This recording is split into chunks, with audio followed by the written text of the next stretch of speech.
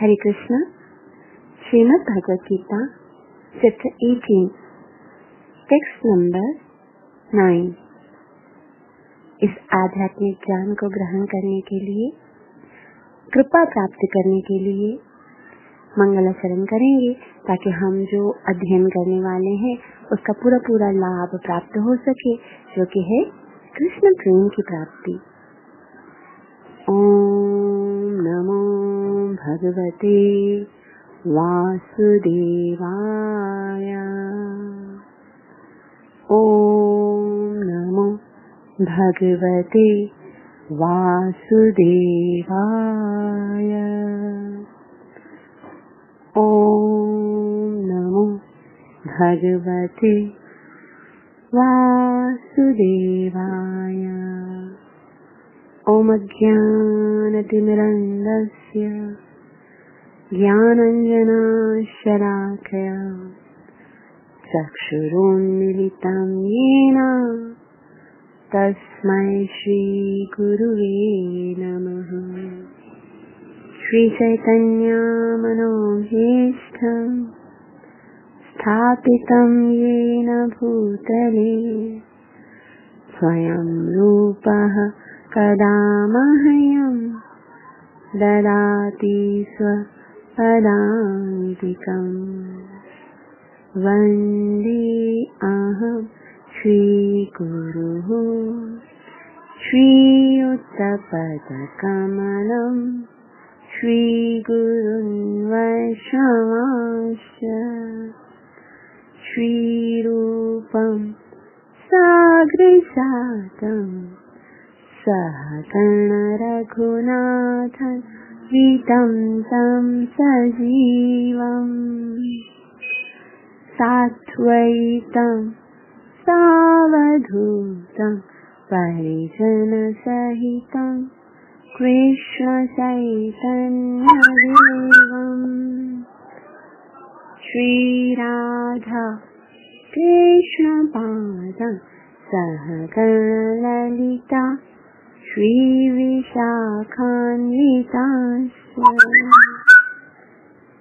हे कृष्ण करुणा सिन्धु दीनबन्धु जगत्पति गोपीश गोपीककान्ता श्रीराधाकान्त नमोऽस्तु ते। तप्तकाञ्चनं गारङ्गे श्रीराधे वृन्दावनेश्वरी ऋषिभानो सूतदेवी प्रणमामि हरिप्रिये वाञ्छाकल्पतरुभ्यश्च कृपा सिन्धुभ्य एव च पतितानां पावनेभ्यो वैष्णवेभ्यो नमो नमः। जय श्री कृष्ण चैतन्य प्रभु नित्यानंद श्री अद्वैतम गदाधारम शिवासदि गौरभक्तवृंदा हरे कृष्ण हरे कृष्ण कृष्ण कृष्ण हरे हरे हरे राम हरे राम राम राम हरे हरे श्रीमद भगवद गीता मात की जय हो भगवान श्री कृष्ण से अर्जुन ने त्याग और संन्यास के विषय में पूछा तो भगवान श्री कृष्ण ने बताना शुरू किया है और पहले कहा अरे भगवान श्री कृष्ण ने सेवन नंबर में बताया नियत तो संन्यास कर्म नोपद्यते मोहात परित्याग, तामस परिकीर्तिता कि जो अपने नियत कर्मों को त्याग देता है क्या क्यों त्यागता है? मोह के वश त्याग देता है तो ऐसे त्याग को तामसी कहा जाता है यानी कि। मोह होता है उसको, या फिर प्रपंच समझकर, या फिर ना, ये सोचकर त्याग देता है कि कौन इस झंझट में पड़े तो वो त्याग। है और आगे बता भगवान ने दुख वयत कर्म काय क्लेश भया त्यजे राजसम त्यागम नैव त्यागम फलम और अपने नियत कर्मों को जो दुख सम, दुख देने वाला समझकर या शारीरिक क्लेश के भय से अगर कोई त्याग देता है तो वो रजोगुणी त्याग होता है। अब यहाँ पर आप लोगों ने एक बात नोट की कि भगवान श्री कृष्ण ने त्याग के विषय में बताना शुरू किया सबसे पहले तामसी बताया उसके बाद राजसी और आज भगवान श्री कृष्ण हमें सात्विकी त्याग के विषय में बताए। ये वैसे इससे पहले जब भी भगवान ने ये तीन गुणों के विषय में बताया तो जो भी भगवान ने बताया, यज्ञ, दान, तपस्या इत्यादि तो हमेशा भगवान ने सबसे पहले सत्वगुणी बताया, उसके बाद रजोगुणी, आखिर में तमोगुणी बताया। लेकिन इस बार भगवान श्री कृष्ण ने उल्टा शुरू किया ना पहले काम से बताया कि भाई मोह वैश अगर त्याग दोगे तो तामसी होगा और अगर शारीरिक क्लेश के भय से अगर त्याग दोगे तो राजसी होगा। और आज भगवान हमें सात्विक की बताया ये उल्टा भगवान से शुरू किया। भगवान ने उल्टा इसलिए शुरू किया कि सबसे पहले तो अर्जुन को ये बता दो कि मोहवश नहीं त्यागना ये तो तामसी है। तामसी तो बहुत ज़्यादा खतरनाक होता है। वो तो आपको भयंकर स्थिति में पहुँचा सकता है। क्योंकि तमोगुणी त्याग जो है तमोगुणी कोई भी कार्य हम करते हैं तो उसका बहुत भयंकर परिणाम होता है। तो तमोगुण में तो एटलीस्ट नहीं करो, फिर वापस बताया, रजोगुण में भी नहीं करना कि अपने शरीर में कष्ट हो, ये सोचकर। आज भगवान हमें सात्विक त्याग के विषय में बताएँगे। भगवान कह रहे हैं चैप्टर 18 टेक्स्ट नंबर 9 भगवान ने कहा, कार्यमित्येव यत्कर्म। नियतं क्रियतेऽर्जुन सङ्गं त्यक्त्वा फलं चैव। सत्यागः सात्विको मतः। सुंदर भगवान श्री कृष्ण बता रहे हैं। मेरे साथ श्लोक का उच्चारण करने का प्रयास कीजिए। कार्यमित्येव यत्कर्म नियतं क्रियते अर्जुन सङ्गं त्यक्त्वा फलं चैव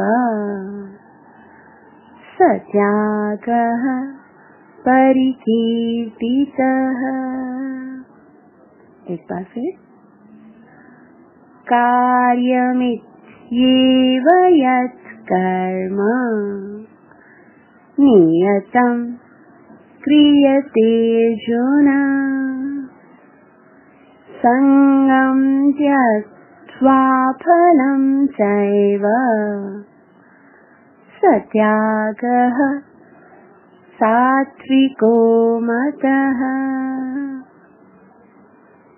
एक बार फिर। कार्यमित्येव यत्कर्म। नियतं क्रियते अर्जुन सङ्गं त्यक्त्वा फलं चैव। सत्यागम् सत्यागः सात्विको मतः। वन लास्ट ठीक है, ज़रूर पढ़िए साथ में। कार्यमित्येव यत्कर्म नियतं क्रियते अर्जुन सङ्गं त्यक्त्वा फलं चैव सत्यागः सात्विको मतः। इस श्लोक को हमें याद करना चाहिए। ये बहुत ही सुंदर भगवान के वाक्य हैं। सात्विकी त्याग के विषय में भगवान बता रहे भगवान ने कहा, कार्य कार्य मतलब करणीय। जो आपके नियत कर्म है ना, जैसे आप जिस भी स्टेज पर हो, आपके लिए कुछ न कुछ कर्म नियत है, निर्धारित है तो इस कार्य मतलब करणीय, इति मतलब इस प्रकार एवं, यानी निस्संदेह। यानी कि जो आपकी करणीय कर्म है, जो आपको करने हैं, वो निस्संद यत्तु आगे बता यत कर्म नियत, यानी कि जो, यत यानी जो, कर्म मतलब कार्य, नियतम यानी निर्दिष्ट है, क्रियते, किया जाता है अर्जुन। यानी कि भगवान कहते हैं कि वो मनुष्य जो अपने कर्तव्य, ये सोचकर करता है कि मुझे करना है बस, ये तो मेरा कर्तव्य है, मुझे करना है। वो करता है मतलब अपने कार्य सारे करता है, लेकिन मतलब फिर त्याग क्या करता है? जब कार्य सारे करता है, भगवान त्याग के विषय में बता रहे तो आगे भगवान बताते हैं, देखो त्याग क्या है? संगम त्यक्वा फलम चैव यानी भगवान कहते संगम, संगति, संग। और आगे भगवान ने कहा त्यक्वा यानी कि आसक्ति, उसके अंदर अटैचमेंट को त्यागना। त्यक्वा मतलब त्याग कर किसके अंदर अटैचमेंट को त्यागना है? फलम सेवा यानी कि फल की आसक्ति को त्यागना है, फल के संगति को त्यागना है। और भगवान आगे बोलते हैं, एव सत्याग। यानी कि वो निश्चय ही सही वाला त्याग है। कौन सा वाला त्याग है? सात्विको मत। सात्विको मतलब सतोगुणी मत मतलब मेरे मत से। भगवान ने बहुत ही सुंदर त्याग का वर्णन किया है। बिल्कुल इतना अच्छा भगवान बता रहे हैं हे अर्जुन जब मनुष्य नियत कर्तव्य को करणीय मानकर करता है मुझे करना है ये मेरा कर्तव्य है करना है और यानी कर्म को नहीं त्यागता और समस्त भौतिक संगति तथा फल की आसक्ति को त्याग देता दो चीज़ों को त्यागने का, त्यागने का कहा संगम त्यक्वा फलम एव। यानी संग को भी त्यागता है। संग माना आसक्ति को कार्य के अंदर आपकी कोई आसक्ति नहीं होनी चाहिए। आसक्ति ही आपको आपके कार्य में काम उत्पन्न कराएगी, इच्छा उत्पन्न कराएगी, फिर काम पूरा नहीं होगा तो फिर क्रोध उत्पन्न होगा, क्रोध आपका पूरा नहीं होगा, फिर लोभ उत्पन्न होगा, और इस तरह से दोबारा हम मादी गंदगी में गिर जाएँगे। ये संगति जो है इसी भगवान श्री कृष्ण ने हमें बताया था कि संसार से मुक्त मुक्ति प्राप्त करने का एक तरीका जो भगवान श्री कृष्ण ने हमें 15.3 में बताया था, बहुत ही सुंदर और हमने इसको बहुत अच्छे तरीके से पढ़ा था। भगवान ने कहा, न रूप रूपमत्सेह तथोपलभ्यते, नान्तो न चादिर् न च अश्वत्थमेनम् सुविरूढमूलम् असंग शस्त्रेण दृढ़े न छित्वा कि ये जो वृक्ष है जिसकी जड़ें बहुत ही दृढ़ है, बहुत ज़्यादा खतरनाक वृक्ष है, जो आपको भटकाता रहता है, उसको काटने के लिए शस्त्र कौन सा बताया? असंग शस्त्र और आज भगवान श्री कृष्ण उसी संग त्यक्व संग त्यक्व मतलब अनासक्ति और असंग असंग का मतलब होता है अनासक्ति। ये दो चीज़ें हैं, जब आप उनके साथ कोई कार्य करते हो, कार्य कार्य को त्याग करने के लिए भगवान ने नहीं कहा, खाली कहा, संगम त्यक्वा फलम च यानी संग को त्यागना, आसक्ति को त्यागना डिटेचमेंट का हथियार होना चाहिए।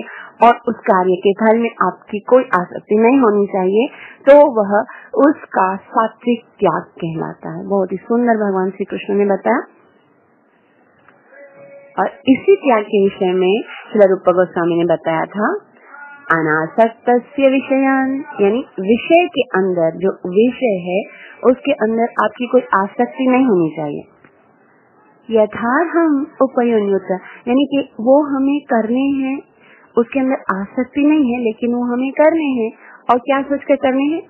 निर्बंधे कृष्ण संबंधे, युक्त वैराग्य मुझे ये मुझे इससे कोई आसक्ति नहीं है। मुझे इसके फल की कोई आवश्यकता नहीं। लेकिन कृष्ण ने मेरे लिए यह निर्धारित किया है, मेरी जो स्टेज है, उसके हिसाब से भगवान ने मुझे यह ड्यूटी सौंपी है। तो यह ड्यूटी मुझे करनी है, उसके अंदर मुझे कोई आसक्ति नहीं करनी है और युक्त वैराग्य मुझसे और इसको युक्त वैराग्य कहा। असली त्याग उसको कहा और भगवान ने इसको सात्विक त्याग कहा। श्री प्रभुपाद जी हमें बहुत सुंदर रीति से समझाएँगे। तात्पर्य, श्री प्रभुपाद श्री प्रभुपाद की जय हो। श्री प्रभुपाद जी कहते हैं, नियत कर्म इसी मनोभाव से किया जाना चाहिए। मनुष्य को फल के प्रति अनासक्त होकर कर्म करना चाहिए, उसे कर्म के गुण से विलग हो जाना चाहिए। यानी कि कर्म के अंदर उसकी कोई आसक्ति नहीं होनी चाहिए, उससे बिल्कुल अलग हो जाना चाहिए। जो व्यक्ति कृष्ण भावनामृत में रहकर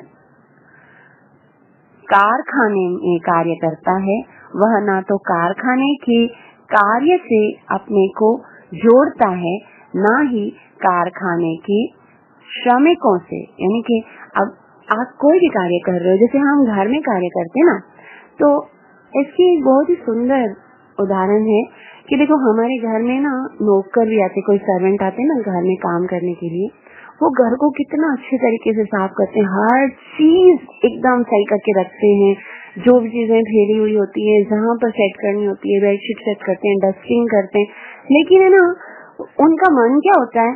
पूरा मन अपने घर में होता है कि मेरे, मुझे अपने घर जाना है, मेरे बच्चे है ना, उनको भी खाना देना है, लेकिन वहाँ पर वो कार्य इतना अच्छे तरीके से कर रहे होते उनको किसी चीज़ से आसक्ति नहीं होती है किसी सारी चीज़ें सेट करके रखते हैं फिर भी मिरर साफ़ करते शीशे साफ़ करते दीवारें साफ़ करते किचन साफ़ करते। हालाँकि उनको हमारे घर से कोई भी आसक्ति नहीं होती है लेकिन वो क्यों कर रहे होते हैं? क्योंकि उसको मालिक जो है माल, में जो मालिक होते हैं उनको प्रसन्न करना होता है है ना? मालिक को प्रसन्न करने के लिए कार्य कर रहे हैं लेकिन उसके अंदर उसकी कोई अटैचमेंट नहीं होती है। अभी बाद में वो घर पे चला जाए, फिर भले कोई चोरी करके जाए, उसको तो फ़र्क नहीं पड़ता ना। और उसकी आसक्ति किसमें है? अपने बच्चों में। ठीक है? उसी तरह हम आत्मा है। यह शरीर हमें मिला है, यह शरीर नौकर की तरह है। तो हम इसको जैसे जितने भी कार्य हमें हमें सौंपे गए हैं वो मालिक को प्रसन्न करने के लिए। कौन मालिक? भगवान को प्रसन्न करने के लिए सारे ही ड्यूटीज़ मुझे करनी है, लेकिन अटैचमेंट किसके साथ होना चाहिए? जो मेरा रियल संबंधी है, जो भगवान है, उसके साथ हमारा अटैचमेंट होना चाहिए। तो इससे करने से यहाँ पर श्लोपा जी यही बता रहे कि कारखाने का जो मजदूर होता, जो वर्कर होता है, उसकी अगर अटैचमेंट नहीं होती है उस कृष्ण भावना में रहकर अगर वो कार्य करता है तो कारखाने के मुलाजिमों में या कारखाने में उसकी कोई भी आसक्ति नहीं होती। वह तो मात्र कृष्ण के लिए कार्य करता है, क्योंकि उसकी, उसको पता है कि मेरा रियल मकसद, मेरा सच्चा प्रेमी कृष्ण है, मुझे उसको खुश करना है तो कृष्ण को प्रसन्न करने के लिए वो कार्य करता है, और जब वह इसका फल कृष्ण को अर्पण कर देता है तो वह दिव्य स्तर पर कार्य करता है, और जब कृष्ण को अर्पण किया जाता है, उस सारे कार्य का फल कि भाई मैंने अच्छा और अच्छा करना है, ऐसा नहीं कि ये जान छुड़ाने के लिए जन समझ के जैसा जैसा करना अच्छा करना है, ताकि कृष्ण प्रसन्न हो कि भाई, ये ड्यूटी अच्छी कर रहा है। तो फिर है ना, हमको अच्छी ड्यूटी और भी उससे ज़्यादा अच्छा जैसे प्रमोशन होता है ना फिर अभी हम माया की सेवा कर रहे हैं तो भगवान हमें प्रमोशन देंगे, और प्रमोशन के बाद हमें डायरेक्ट से भगवान की सेवा मिलेगी तो कितना अच्छा है। लेकिन अगर हम लोग यही काम अच्छा नहीं करेंगे ना जो भगवान ने हमें निर्दिष्ट कर्म दिए हैं, वो अच्छे से नहीं करेंगे तो भगवान ने बोला, ये तो ये साधारण सा कार्य नहीं कर सकता, मेरी सेवा क्या खाक करेगा? फिर भगवान अपनी सेवा भी नहीं देंगे। इसे जो भगवान ने हमें कार्य निर्दिष्ट दिए हैं, वो हमें अच्छे से करने हैं।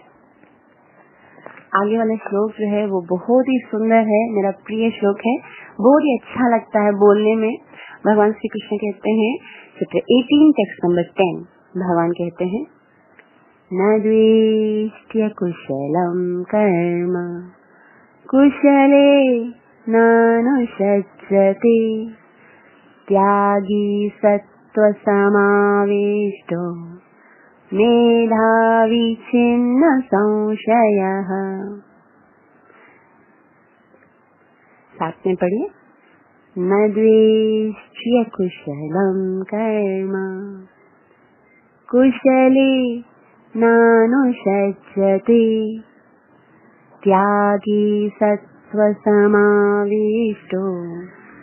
मेधावी छिन्न संशयः। एक बार फिर। न द्वेष्ट्य कुशलम् कर्म। कुशले नानुषज्जते त्यागी सत्त्वसमाविष्टो। मेधावी छिन्न संशयः। न द्वेष्ट्य कुशलम् कर्म। कुशले नानुषज्जते त्यागी सत्त्वसमाविष्टो। मेधावी छिन्न संशयः। एक बार लास्ट न द्वेष्ट्य कुशलम् कर्म। कुशले नानुषज्जते त्यागी सत्त्वसमाविष्टो। मेधावी छिन्न संशयः। बहुत सुंदर श्लोक है। असल में भगवान श्री कृष्ण ने जो अभी सात्विक की त्याग बताया ना, उसी को आगे बढ़ाते हुए भगवान कहते हैं, न द्वेष्टि या कुशलम कर्म। न द्वेष्टि मतलब न मतलब कभी नहीं, द्वेष्टि मतलब घृणा करता है। अकुशलम। अकुशलम का मतलब होता है, अगर उसके सामने कोई अकुशल कर्म कर्म आता है अशुभ कर्म आता है। अशुभ का क्या मतलब होता है? यानी कि एक ऐसा कर्म जो देखने में समाज की दृष्टि में अशुभ लगता है लेकिन आपका फ़र्ज़ है तो आपको कर, करना पड़ेगा। जैसे समाज की दृष्टि में अशुभ लगता है कैसे मतलब? जैसे अब अर्जुन क्षत्रिय था। उसके सामने अब निर्दिष्ट कारण क्या था कि उसको युद्ध करना था। किसके किसके साथ? भीष्म पितामह और गुरु, अपने गुरु द्रोणाचार्य, अपने दादा के साथ और भीष्म पितामह के साथ भीष्म पितामह और अपने गुरु महाराज के साथ युद्ध करना। समाज की दृष्टि से देखा जाए तो यह कितना अकुशल कर्म है। मतलब बिल्कुल घृणित कर्म है और इस तरह इस, ये क्वेश्चन किया था अर्जुन ने, श्रीमद भगवद गीता में अर्जुन ने कृष्ण से कहा था,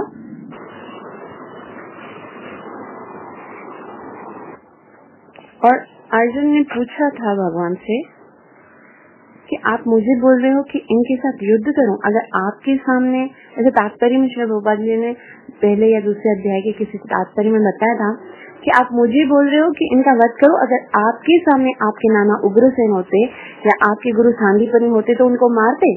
तो उसका उत्तर भगवान श्री कृष्ण दे रहे हैं। देखो, यहाँ पर भगवान कह रहे हैं कि अकुशल कार्य से कोई द्वेष नहीं कर, द्वेष नहीं करता। अकुशल यानी कि समाज की दृष्टि से अगर आपका कर्तव्य अशुभ है तो भी न द्वेष वो घृणा नहीं करता। कुशली नानु सज्जते कुशली मतलब अगर शुभ है, समाज की दृष्टि से बहुत अच्छा है तो नानु सज्जते यानी उसके अंदर आसक्ति भी नहीं रखता। त्यागी सत्व समाविष्ट हो। सत्व मतलब जो त्यागी सत्वगुण में स्थित होता है, मेधावी, वही बुद्धिमान है, छिन्न संशया उसको, उसके सारे संशय, समस्त संशय, सारे संदेह जो हैं, वो छिन्न हो गए, यानी कि वो खत्म हो गए। उसको अपने कर्तव्यों के विषय में कोई संदेह नहीं है। भगवान कहते हैं सत्योगुण में स्थित बुद्धिमान त्यागी, जो ना तो अशुभ कर्म से घृणा करता है और न ही शुभ कर्म से लिप्त होता है, वह कर्म के विषय में कोई संशय नहीं रखता। बहुत ही सुंदर श्री जी तात्पर्य बताएँगे, तात्पर्य श्रीला प्रभुपाद श्री की जय हो। श्री प्रभुपाद जी कहते हैं, कृष्ण भावना भावित व्यक्ति या सतोगुणी व्यक्ति, ना तो किसी व्यक्ति से ग्रहण करता है, न अपने शरीर को कष्ट देने वाली किसी बात से। उसको ये खबर होती है कि मेरे कर्म, कर्मों के अनुसार सारे लोग मुझे मिले हैं। अगर मेरे साथ द्वेष भी कर रहे हैं तो भी मेरे ही, मेरी ही कोई गलती है, मेरी ही कोई दुष्कर्म है। तो उन लोगों से उसे कोई घृणा नहीं होती है और ना ही अपने शरीर को कष्ट देने कष्ट देने वाली किसी बात से। क्योंकि उसको पता होता है मैं शरीर नहीं हूँ मेरा लिंक जो है जैसे मैंने अभी आपको नौकर की मिसाल दी तो उस घर में जितने भी लोग हैं भले वो उसको लाइक करते हैं नहीं लाइक करते हैं भले उस घर में कोई कार्य करने से उसको जैसे वॉशरूम धोते हैं वो करते हैं वो कर, कार्य करते हैं उसको अच्छा नहीं लगता है लेकिन फिर भी उसके अंदर कोई आसक्ति नहीं है, वो कर रहा है और उसी तरह से जो भक्त होता है, वो भी अपना कार्य कर रहा होता है। उसको कोई फ़र्क नहीं पड़ता कि लोग मुझे लाइक नहीं करते हैं या फिर कोई कार्य ऐसा है जो मुझे शरीर को कष्ट दे रहा है। वह उपयुक्त स्थान पर तथा उचित समय पर बिना डरे अपना कर्तव्य करता है। वो अपना कर्तव्य करता है। कभी कभी ऐसा होता है, घर में कोई ना, पशु मर जाता है तो उसको भी उठा के लेकर आ जाए। उसको पता है कि बस ये जोन सा भी कर्म है, वो मुझे करना है क्योंकि ये मेरा कर्तव्य है और इसी से मुझे अपने मालिक को प्रसन्न करना। ऐसे व्यक्ति को जो आध्यात्मिक को प्राप्त है, सर्वाधिक बुद्धिमान तथा अपने कर्मों में संशय रहत मानना चाहिए। यानी कि ऐसा ऐसा व्यक्ति भगवान श्री कृष्ण देखो बुद्धिमान किसको कह रहे हैं?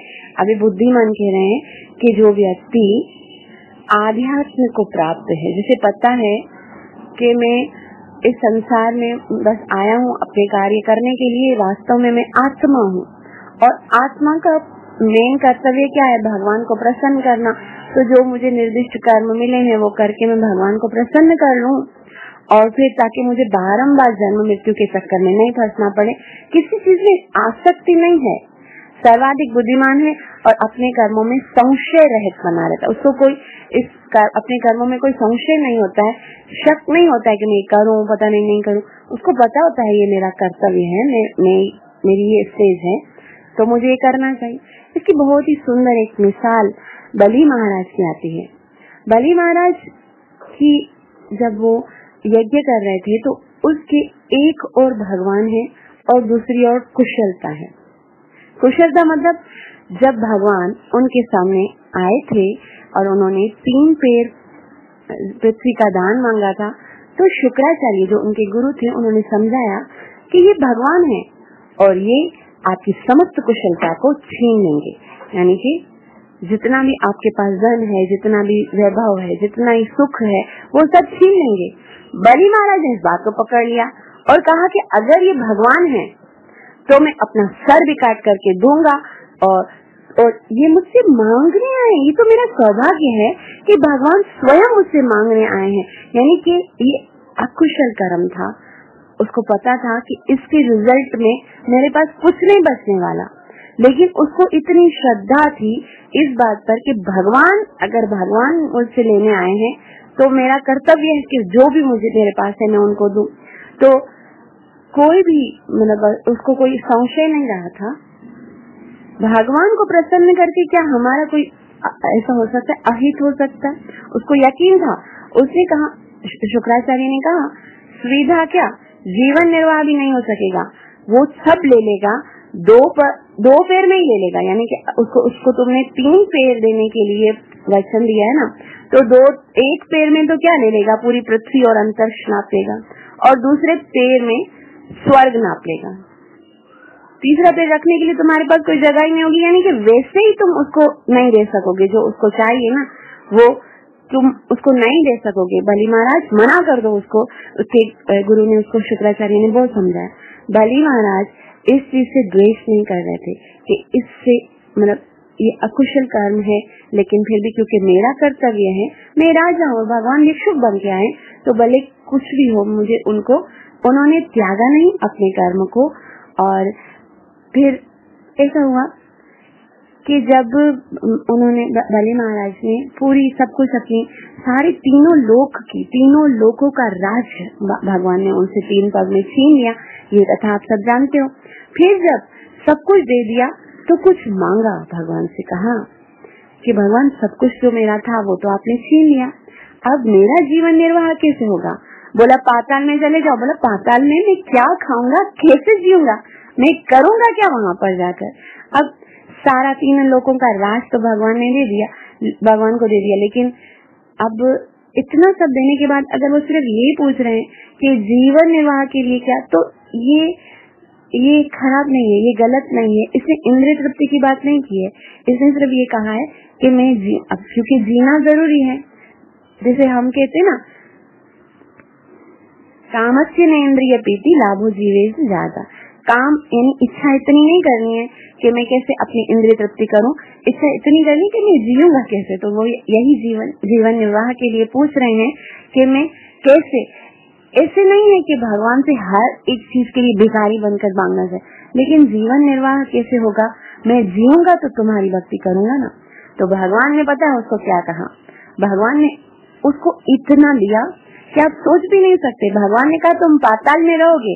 लेकिन हे दैत्य दैत्य राज थे और श्रद्धा, यानी कि जो, ऐसा श्राद्ध जो शुद्ध ब्राह्मण के बगैर किया जाएगा, श्रद्धा और शुद्ध ब्राह्मण के बगैर किया जाएगा, उसका सारा फल जो कर रहा है, उसको नहीं मिलेगा वो सारा फल तुमको मिलेगा।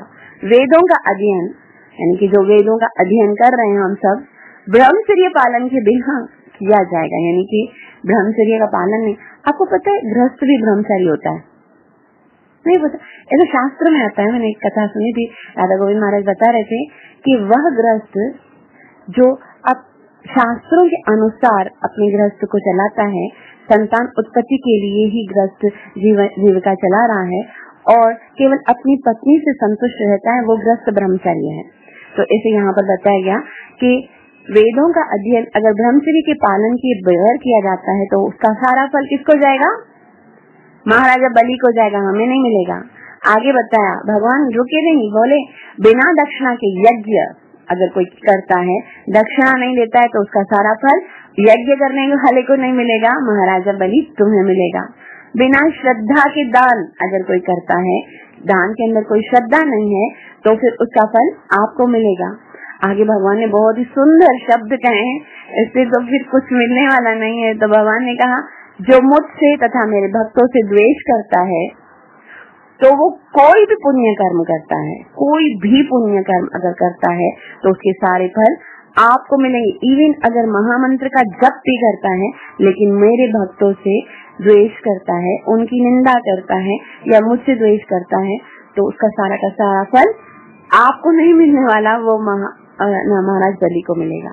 समस्त सत्कर्म श्रद्धा के बगैर किए गए समस्त कर्मों का फल। महाराजा बलि को भगवान ने कहा, ये सारे के सारे फल तुम्हें मिलेंगे और भगवान ने बहुत सुंदर श्लोक उच्चारण किया भगवत भागवत महापुराण में। भगवान ने महाराज बलि को आशीर्वाद देते देते हुए कहा, पुण्यम वंदे विषयाम यच्चम पुण्यम वन द्वेषिणाम यच्छम मत द्वेषिणाम तथा अश्रद्धया यच्छयाम दानम यदताम यजताम तथा। तत्सर्वं तव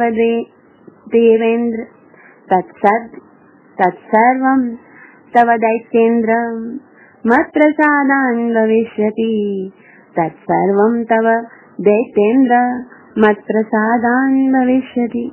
हे दैत्येन्द्र मेरी कृपा से आज के बाद जो भी ये अभी सारे पुण्य बताए कि जो श्रद्धा के बगैर दान करेगा और जो मेरे भक्तों से द्वेष रखकर कोई भी सत्कर्म करेगा, यज्ञ करेगा, दान करेगा इत्यादि, वो सब मेरी कृपा से आज तुम्हें प्राप्त होने वाले। तो देखो, उसने अपने कर्म के अंदर अकुशल कर्म से घृणा नहीं की, अपना कर्म समझ कर अपना कर्तव्य समझ कर उसको किया तो भगवान ने उसको कितना सब कुछ दे दिया, कितना सब वो सोच भी नहीं सकता था।